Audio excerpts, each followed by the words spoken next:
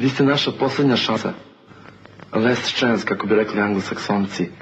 Ili ako vam se više sviđa mašinka, vi naša posljednja возможnost. Možda vas izezam, ali reče Bobiju. To be or not to be.